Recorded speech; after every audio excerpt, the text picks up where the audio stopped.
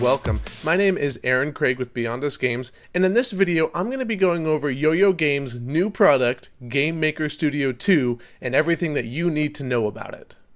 So, Yo-Yo Games has announced uh, Game Maker Studio 2, and they've put out uh, some videos on it. They've released some documentation, and they've also opened up a restricted beta for people that are able to get into it to be able to test around with some of the new features, new UI. Um, the beta is very limited. You're not going to be able to make any really big games. It's just for playing around with the new software and finding any bugs or problems that might be there.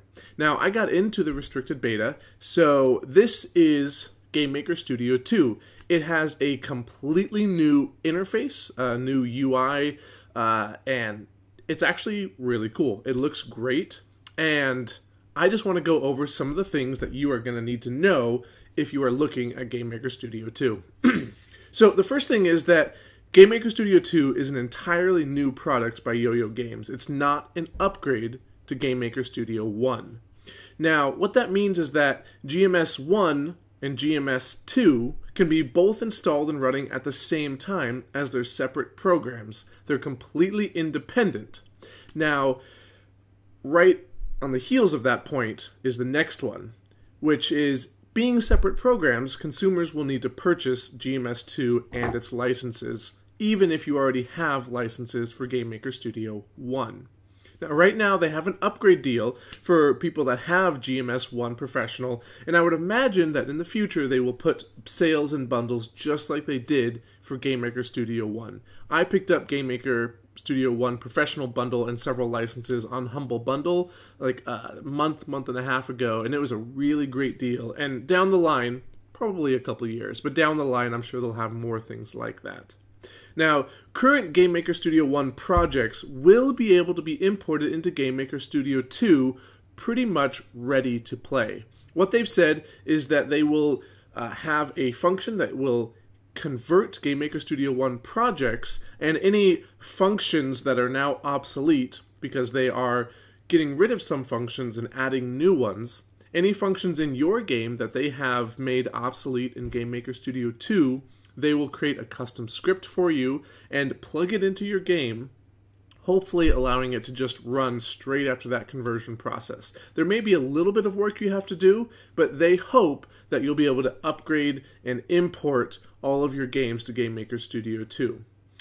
Uh, the reason for that, the biggest reason, is because Game Maker Studio 2 is going to be the future of yo yo games. Game Maker Studio 1 isn't dead, but they are only going to continue to support it for a little while longer. They'll add uh, some some bug fixes and things like that, but there will not be any new features to Game Maker Studio 1.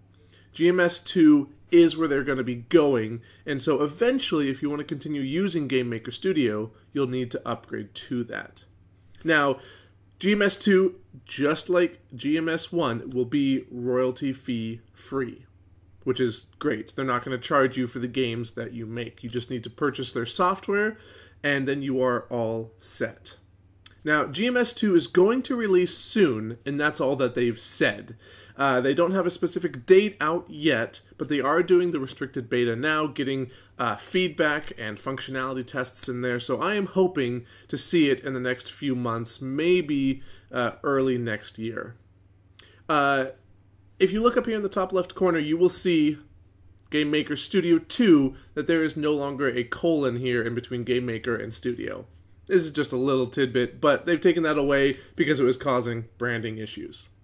So that's it. Um, there are a host of new functions, uh, features, and a new way to navigate Game Maker Studio 2 as opposed to GMS 1. And I'm going to be making another video about that, going over new features. But if you are in a rush, they already have uh, videos put out by Shaun Spalding talking about the key concepts and going through creating your first game both with drag and drop code and with actual coding.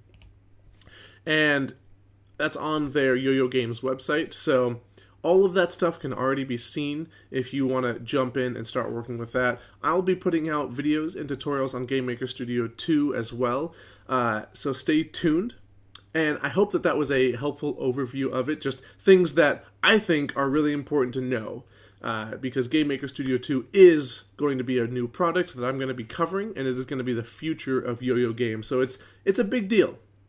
Well, thank you guys for tuning in. If you want to see any Game Maker Studio 1 tutorials, head on over to my channel for uh, different types of games and miscellaneous tutorials. As always, have fun making games, and I'll talk to you next time.